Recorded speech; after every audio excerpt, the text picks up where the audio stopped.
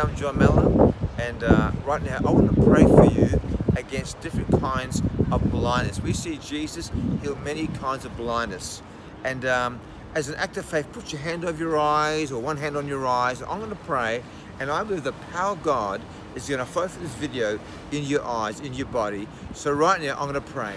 Lord Jesus, in your wonderful name, I come against blindness right now, every form of blindness, against keratoconus right now, against macular degeneration, a glaucoma, uh, cataracts right now, every eye disease, even ones that doctors can't work out, mystery eye diseases, I break blindness, even people born blind, all types of eye damage and blindness, ret split retina, retina problems, dry eyes, watery eyes, every eye disease right now, I decree healing. Let your healing power flow into eyes right now. Short-sightedness, long-sightedness, myopia, all eye problems be healed right now in Jesus' name. I command blurred vision to be healed right now. I declare clear vision in the name of Jesus.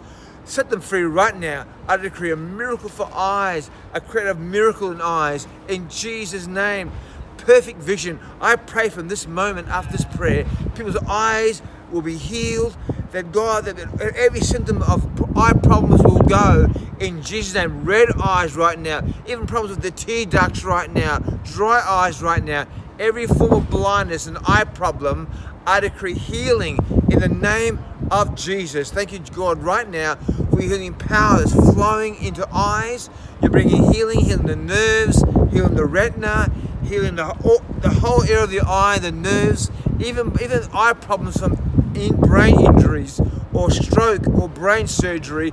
I decree healing of eyes right now in your wonderful name, Jesus. And Lord, just keep let the power keep flowing long after I pray this prayer. Keep healing their eyes in Jesus' wonderful name.